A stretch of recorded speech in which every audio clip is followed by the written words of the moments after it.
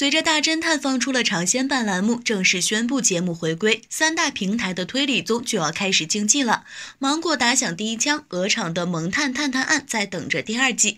在此情境下，财大气粗的鹅厂自然也是想跟上潮流的。目前开始推理吧这个项目策划已经完善了，计划书上显示将于三月开启录制，预计五月上线，跟陶厂算是要正面对打了。这档节目之前名为《推理计划十一号公寓》。改改名之后简单易懂很多，主线设置还是不变，成员们入住公寓，在这里查询关于邻居的真相，一起陷入推理的乐趣。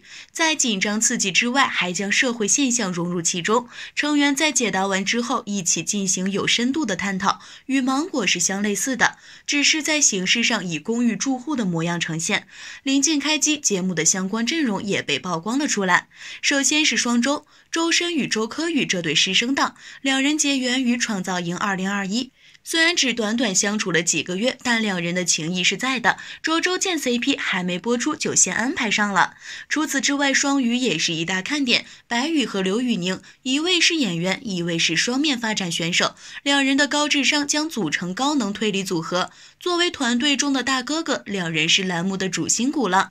这最后一对在跑男时就被言说是 B G 吵闹之光了，他们就是宋祖儿和郭麒麟，两人在跑男中就是一组欢脱小朋友的感觉。这六个人既有艺高人胆大的，又有比较有节目效果的，常驻团队目前来看组合互补是相当不错的。首期就请到狠角色乔家的儿女剧组团建。在飞行嘉宾这块，现在入住公寓的有两位。第一位是喜剧界的狠角色沈腾，从大荧幕电影到综艺栏目，他的整活能力是一流。在麻花特开心中，属于是一出场就是焦点。在狼人杀特辑中，全场只有他玩的比较溜。对于这种观察逻辑游戏，沈腾还是有些实力在身上的。这第二位一出现，首期就是乔家的儿女的团建现场了。她就是灵气演员毛晓彤，在剧中是白宇的妹妹，宋祖儿的姐姐。作为演员，她参加综艺的频率不多，但如果是跟上述两位一起的话，剧中人重聚的话题还是能引起讨论的。那么就期待节目方正式官宣了，一起期待推理综的春天吧。